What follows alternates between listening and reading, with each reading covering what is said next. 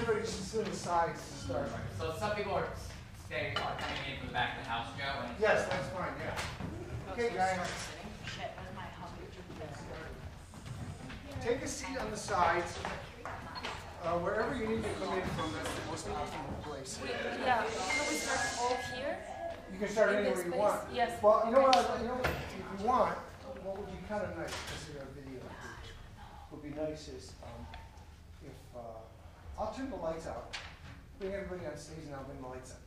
Okay, You understand? yes, Gabish? yes. Does everybody see where his bass and cello is in the dark? Be careful, Jason. Bass and cello? Oh, we're not, okay. Okay, so I'm gonna go blackout and, uh, all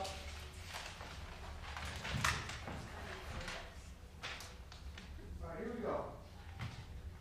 Uh, is that Terry also? Terry? Okay, you ready?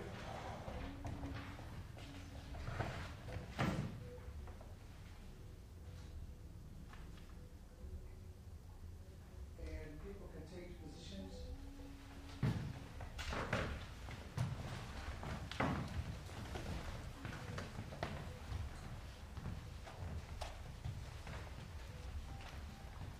Something always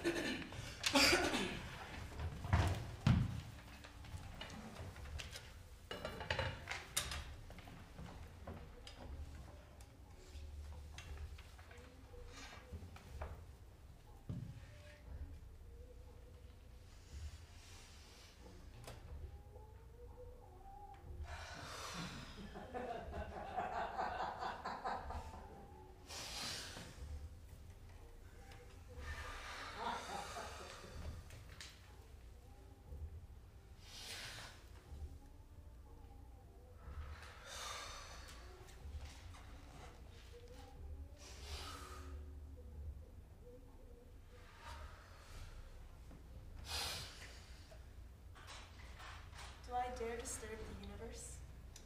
In a minute, there is time for decisions and revisions. Within a minute, we'll reverse.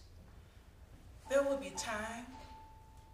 There will be time to prepare a face to meet the faces you meet. And time yet for a hundred indecisions, and for a hundred visions and revisions. And indeed, there will be time to wonder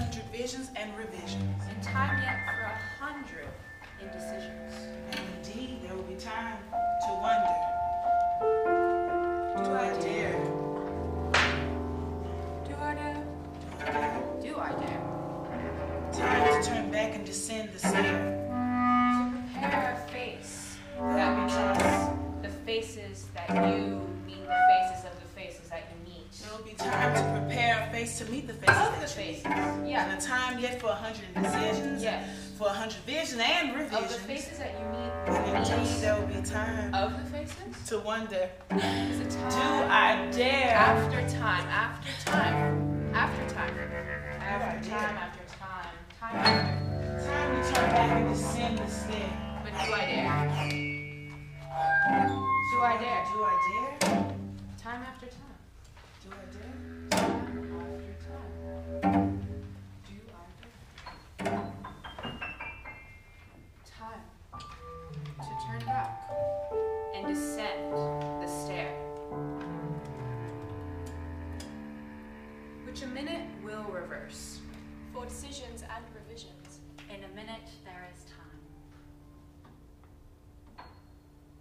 disturb the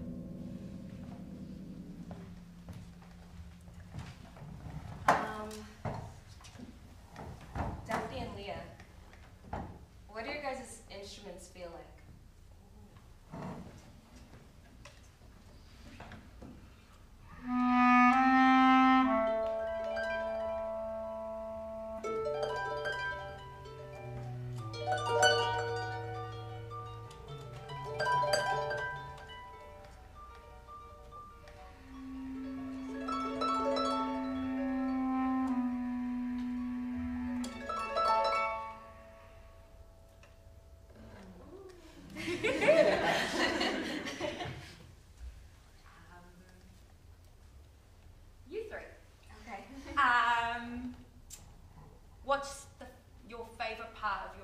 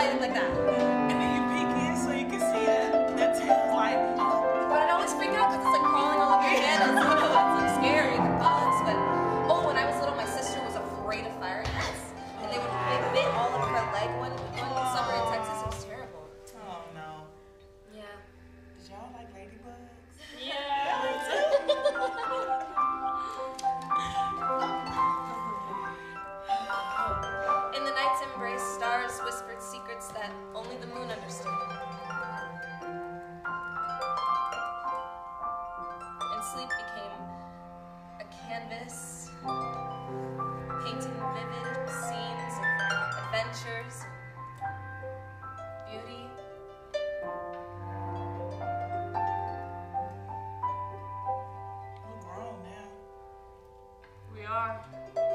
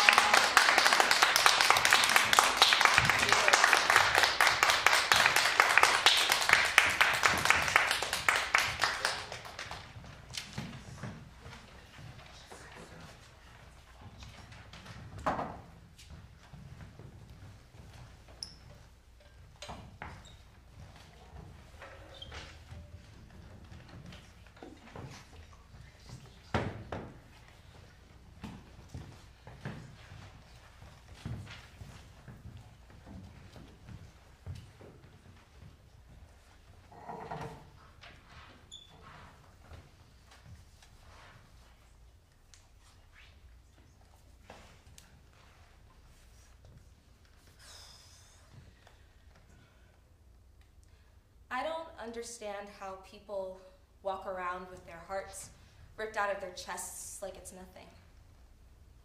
How the birds continue flying and chirping, how the world is still turning.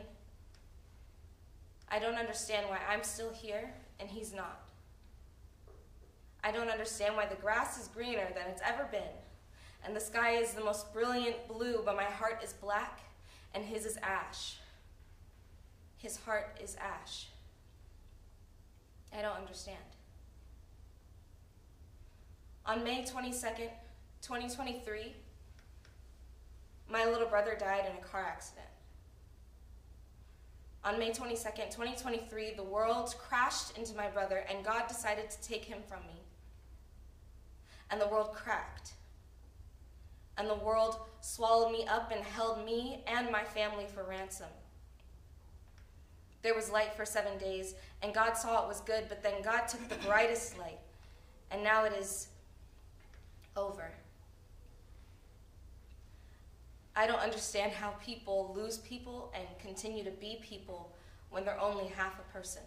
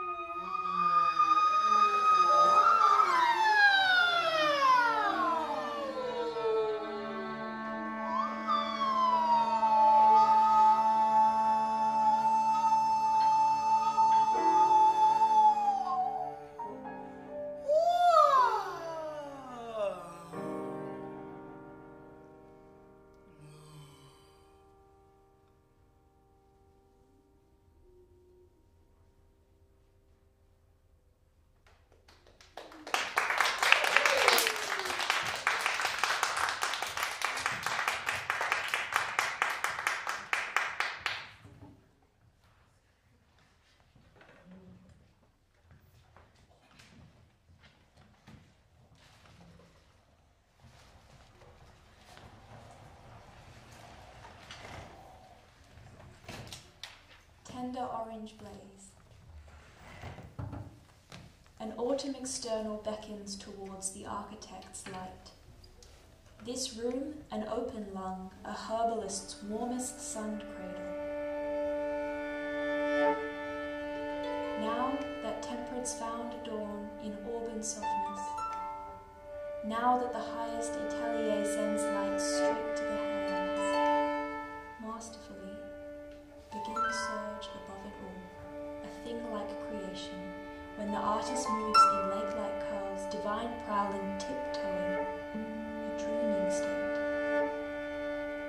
She is one part color of breath, one part field of sky ladders, one part reaching into the gardens above, plucking that fruit like lovers slowly swimming higher. One of the worlds is reaching, a cabinetry of found ribbons, 300 cave maps for lost boys, paper scrolls stained, language locked with ancient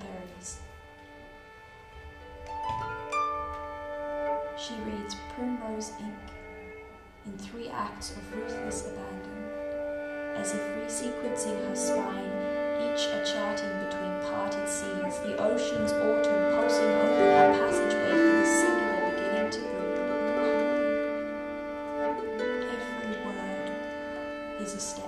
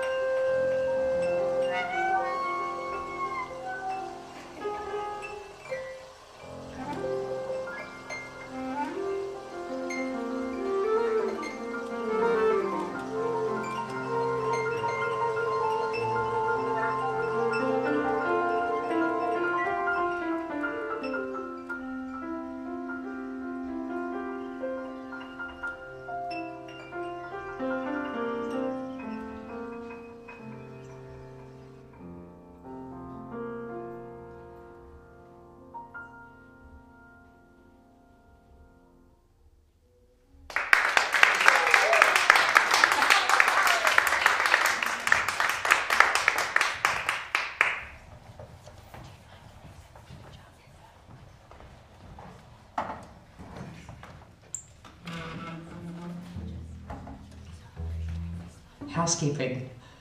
Every morning, my mother leaves to meet the other woman she swims with. It makes her feel alive, she says, to brave the cold like that, to dive underwater while the rest of us are still sleeping. She arrives home as I'm getting up, sand through her clothes and hair, already in her day's rhythm.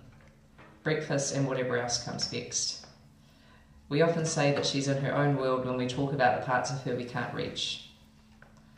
When she loses herself in her thoughts, objects start to move of their own accord, finding themselves in unexpected places. There was a photo of her once, wedged inside a cookbook, captured by a lover while they were on holiday in the 80s. I don't remember, she tells me, whenever I ask about her life before she had us, as if by keeping it secret she can hold it more closely. I try to remember what it was like, as I do when she wades out towards her friends, their, ca- their towels cast off on the beach behind them.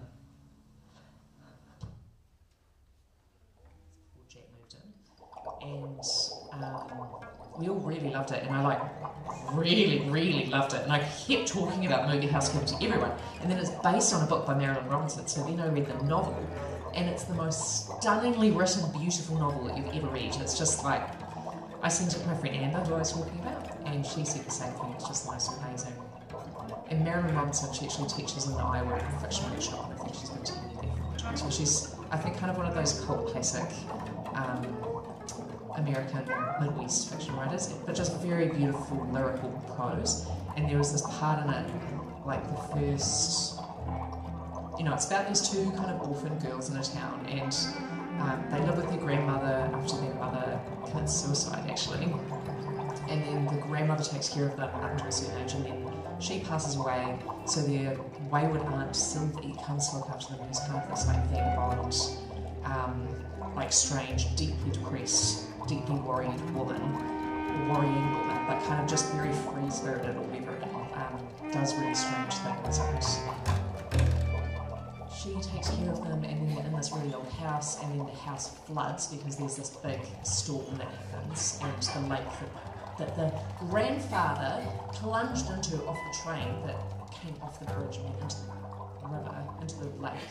Um, had like frozen over and then it rained and you know the lake flooded because it was frozen and then it flooded their house and all the pots and pans like clinkled around in the kitchen and she just wrote it like she must have had the most I was talking about with Lee the most photographic memory of any writer like she was kind of I think the ability to kind of think about what you want to write and then be able to write it as you're thinking it is actually really hard to do there's usually this lag because you're kind of coming up with the you know, construction of a sentence or you're doing anything like that.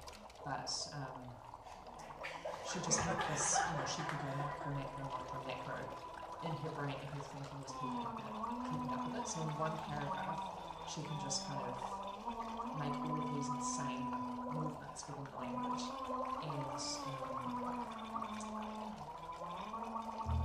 there's the bit with the pots and pans kind of clinking around and just how the light reflected off them and everything else off the water and putting how sounds was balanced with of it. Was just like stunning. So I knew I wanted to learn about that part in particular of the book. And they kind of recreated it in the movie, but it's not. It's, it's the precision that she's using language that's amazing, you know, but then also the images that she's making.